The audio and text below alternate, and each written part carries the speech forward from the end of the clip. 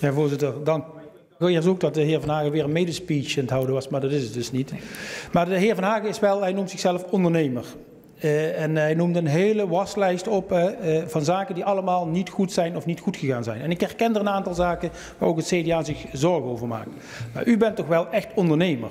Kunt u aangeven hoeveel duizenden of tienduizenden of misschien wel meer dan honderdduizenden bedrijven wel gesteund zijn door dit kabinet? Of dat nu via de NOW is geweest, of de TVL, of de TONG, de TOZO, ga zo maar door.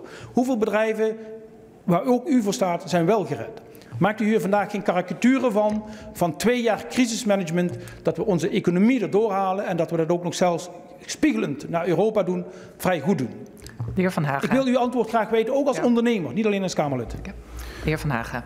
Ja, dat is een interessante vraag. Kijk, het basisprincipe moet natuurlijk zijn dat als je schade berokkent, dat je die schade ook vergoedt. En dat gaat natuurlijk om ontzettend grote bedragen en het is moeilijk in kaart, te brengen. Maar de schade bedraagt honderden miljarden euro's. En natuurlijk is het een fantastisch groot bedrag, die 80 miljard die de heren hier in beschikbaar hebben gesteld. Maar 80 miljard dekt geen fractie van de schade. En als je de verschillende ondernemers en de verschillende branches bekijkt, dan, dan, dan loopt het bloed door de straten. En dat bent u met me eens. U bent ook ondernemer geweest. Dus ja, ik kan dat als ondernemer zeggen of als Kamerlid, het verschil tussen de schade en de steunpakketten is enorm.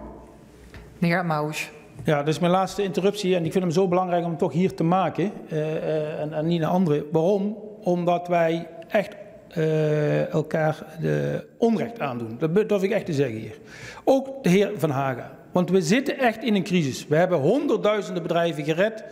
En de heer Van Hagen maakt er een karikaturen van. En ja, er zullen altijd in elke crisis, met elke maatregel, dat hebben we hier herhaaldelijk ook in deze Kamer gehad, er zitten overkartelranden. Er zullen bedrijven zijn die het ons kwalijk nemen dat we misschien geen maatwerk hebben of dat we geen specifieke regeling hebben.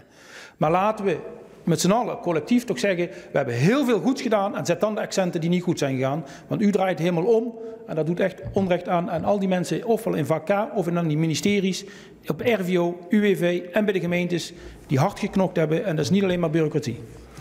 Ja, meneer Amhouch, sorry, voorzitter. Meneer Amhouch uh, maakt er denk ik toch een beetje een karikatuur van. Want ik denk dat als je nu een horeca-ondernemer bent en je hebt uh, je best gedaan om allerlei maatregelen te nemen, of je nou gelooft in corona of niet. Je hebt allerlei maatregelen genomen en uiteindelijk resulteerde dat in uh, een traceerbaarheid van de besmettingen van 2,9% naar, naar de horeca.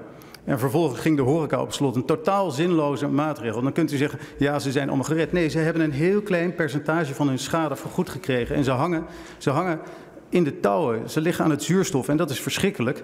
En ik denk dat je, als je daar op een meer technische manier, hè, u bent ook techneut, als, als je er op een meer technische manier naar had gekeken en je had gekeken welke, uh, welke maatregelen er wel zouden werken, dan was de schade een enorm uh, stuk minder geweest. Dus ik ben het helemaal niet met u eens. Ik denk dat heel veel bedrijven ongelooflijk uh, tabak hebben van, van, van deze coronamaatregelen en ongelooflijk veel schade hebben geleden. En de pensioenpotten zijn leeggeroofd, de spaarrekeningen van de kinderen zijn leeggeroofd, de, de reserves op de bankrekening van de bedrijven zijn weg. Dus daar komt een enorme klap aan. En ik, ik, eh, het, is van, het is nu mei, hè? Eh, de, de vakantiegelden van mei zijn uitgekeerd. Nou, ik ben benieuwd hoeveel, uh, hoeveel faillissementen ja. dat gaat opleveren. Maar we gaan het zien en ik hoop dat u enigszins gelijk heeft. Dank u wel.